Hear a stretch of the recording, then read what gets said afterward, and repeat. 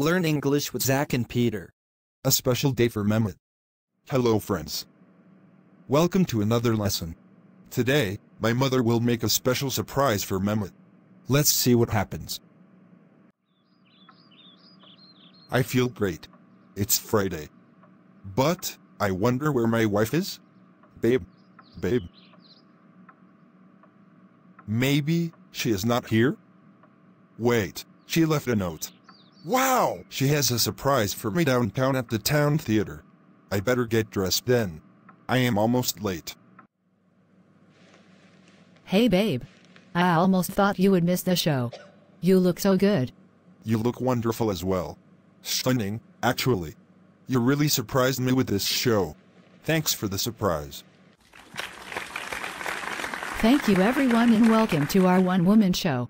This will be a three hour show of me telling you about my old life in India. Three hours? Chapter 1 I was born. Suddenly, I was born and placed in my mother's arms. There was disgust in her eyes. This is taking forever. Sweetheart, please stop. It has only been five minutes, let's wait to see if it gets better. If it doesn't, we will leave and go out for pizza. Okay, babe, it's a deal. 20 minutes later. Chapter 3 I finally learned to walk. You got to be kidding me. Babe, this is art. According to someone anyway. This is awful. If you want to go, it's okay. Are you sure you are not enjoying all this? Art? I am sure. Let's go. I am hungry. Me too. I am sorry, babe.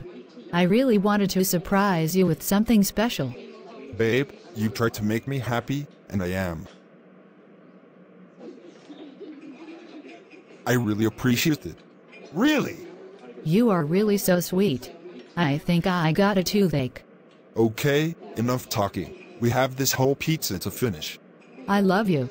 I love you too. As usual, I am hungry again. They better leave a slice for me. Me too. I am starving. Let's go over the words of the day. Surprise. Wonder. Art. Enjoying. Theater. Disgust. Great job, but now it's time to go. See you later. Thanks for watching. Like and subscribe for more.